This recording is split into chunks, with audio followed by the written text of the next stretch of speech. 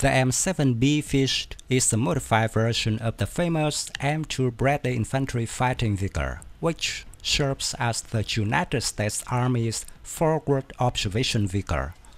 According to Army recognition, the U.S. plans to provide the Ukrainian Army with four units of Special Fire Support Vehicles M7 Bradley. These figures are mentioned in the latest military assistance package announced by the US President Joe Biden for Kiev.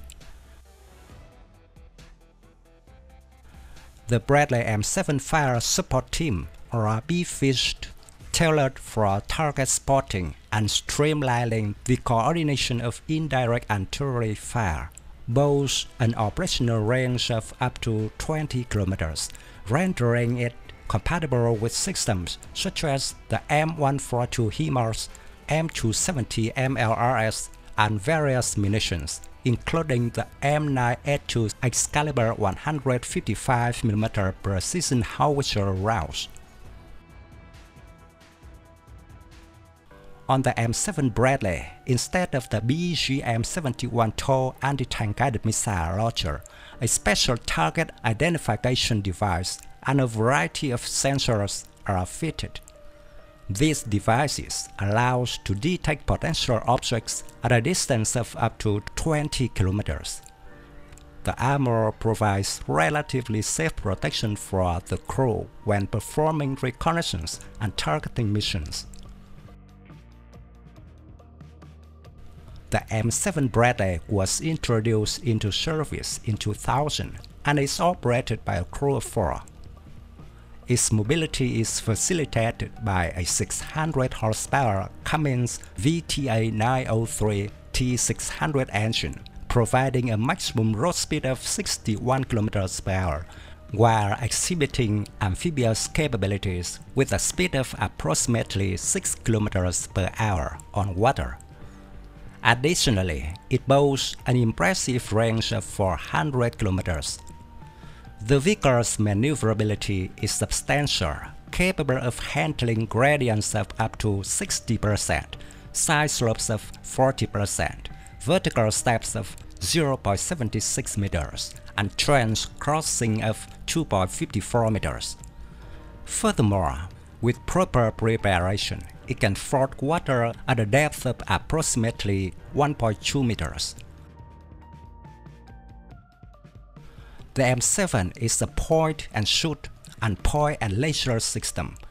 It obtains precise range information to the target via its laser rangefinder and other sensors. It estimates coordinates with a push a button. Vehicle has a built-in battery management system with a GPS and inertial navigation system. This system determines the location of the vehicle on the map as well as target coordinates. The M7 calls to fire nearby artillery units via a digital battery management system. There is an identification system which prevents calling fire on friendly units. On a number of occasions, the M7 demonstrated that it can put precision indirect fire on the target with standard 155mm artillery shells. Standard shells land within 50 meters from the designated target.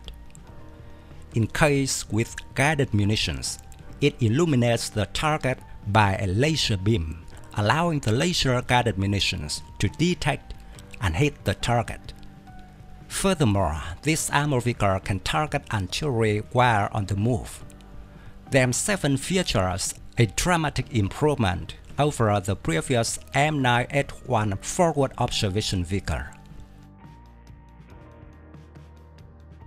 Regarding armament, the vehicle is equipped with a 25mm Bushmaster chain gun and a coaxial 7.62mm machine gun for self-defense with ammunition loads of 900 rounds for the main gun and 2,200 rounds for the machine guns. The M7 Bradley B-Fist is armored to withstand 30mm armor-piercing ammunition and 14.5mm heavy machine gun. And there is an option to incorporate explosive reactive armor for added protection against anti-tank rockets and missiles. Ukraine has received many high-precision weapons from the West, including laser and GPS-guided artillery shells. But guided artillery is only as good as its targeting data. That helps to explain why the US government slipped four M7 Bradley fire support team vehicles into one of its recent arms packages for Ukraine. The B-Fist allows fire support operations to be performed on the battlefield in vehicles with the same signature, survivability, and mobility as the other Bradley fighting vehicles in the maneuver units it supports. The US Army explained in its budget request for 2024. It's unclear whether Ukraine will have access the same digital network the US Army uses. But even without the digital data sharing, the B-Fist represents a huge targeting upgrade for the Ukrainians.